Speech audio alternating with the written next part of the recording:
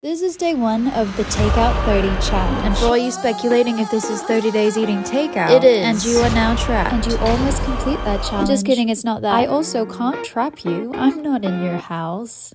Seriously, If though, the idea of eating takeout for 30 days scares you, then you probably should join me in this challenge. Because Takeout 30 is all about kicking fear and doubt in the face. It's very inspirational. You should consider joining. You can also consider recruiting others. But bear in mind, don't use words like MLM, pyramid scheme, or cult. It's not that. But if it were, I would be the prophet. I'm going to be documenting this challenge daily, so follow along. And if you'd like to join, go to my website to receive the Takeout 30 template.